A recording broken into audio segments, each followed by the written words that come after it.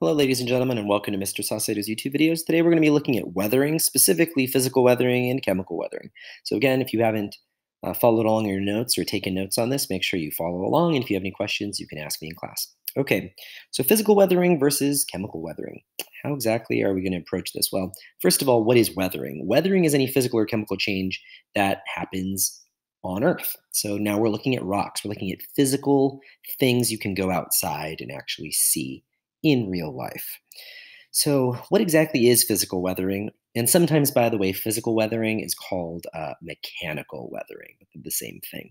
So, it's any change that breaks rocks into smaller fragments caused by factors in your environment. So, you could be a factor in that environment. If you take a rock and you, you know, swing a hammer at it or something and break it into pieces, you would be taking part in physical or mechanical weathering.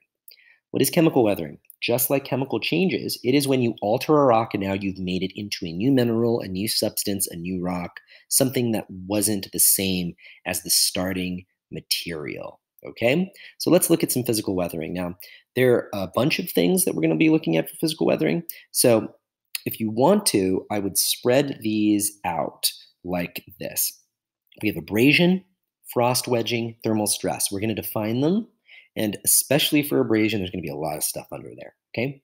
Then for chemical weathering, we have oxidation, hydrolysis, and then we have carbonation.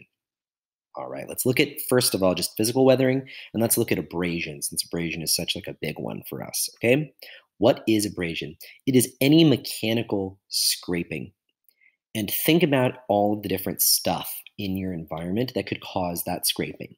Okay, you have wind, you have water or waves. You have glaciers. You have gravity.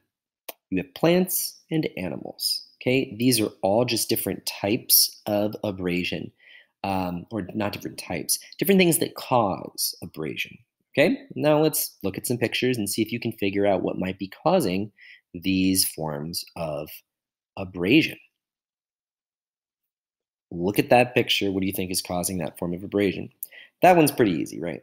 Obviously, that is a plant growing out of a rock, so that has to be caused by a plant.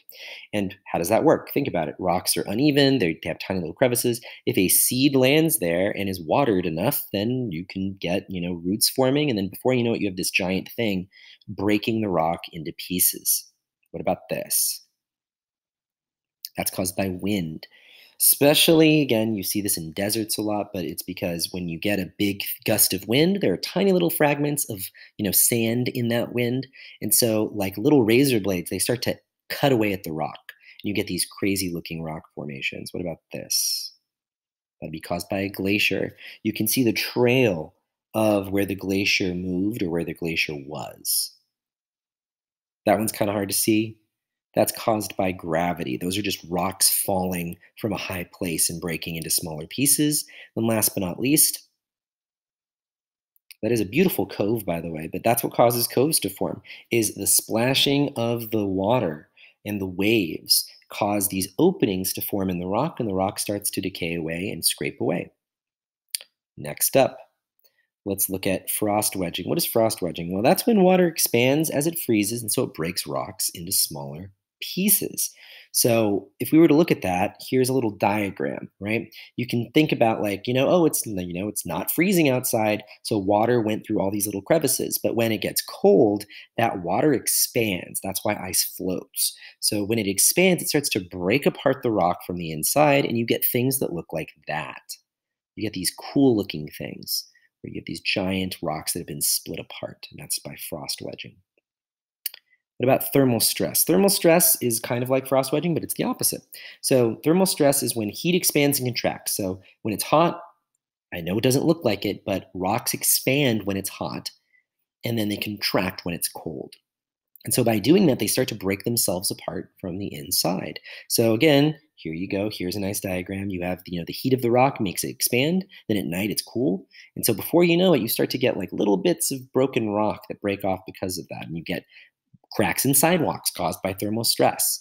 You've probably seen that before. You get these weird little things that look like, you know, oh, hey, that maybe used to be one big rock, but now it's breaking into little chunks.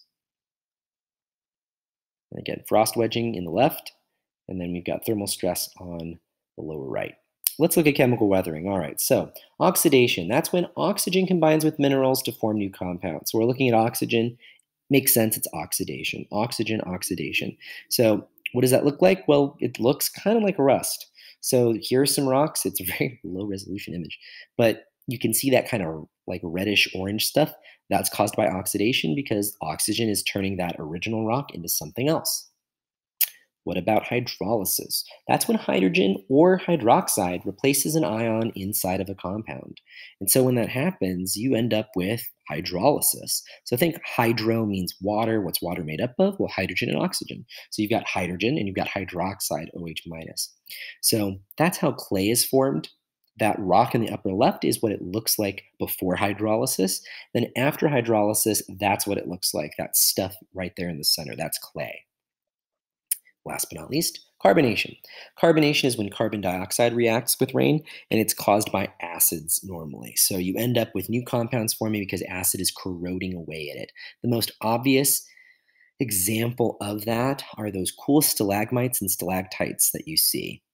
Uh, inside of caves. Those are caused by carbonation. It's made out of limestone, and it takes a really long time, but it's acid basically that's been eating away. And because of the, you know, carbon dioxide mixing with the water, making that acid, you end up with these cool rock formations inside of caves. All right.